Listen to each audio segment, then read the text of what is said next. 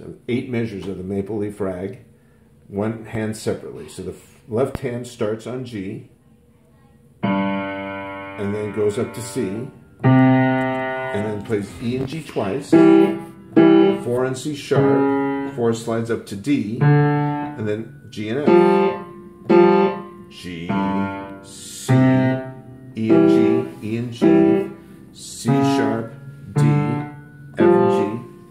And then G, now A flat, down to G, staccato, A flat, and then G, rest, and then C, and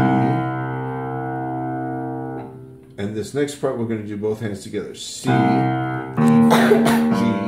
C with your right, C with your left, E flat, G, C with your right, C with your left, E flat, C, with your left, E flat, G, C.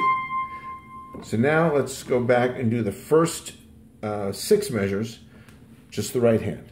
So right hand starts on a C, goes up to G, C, E, G, which is a C chord broken up. Now this next part is a G chord broken up, starting on B, G, B, D, G.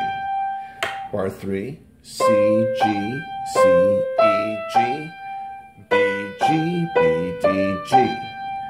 Then bar five is C, E flat, A flat, and then two Gs. C, A flat, and one G. And then that last part again, hands together. C, E flat, G, C, left hand, C, E flat, G, C, left hand, C, E flat, G, C.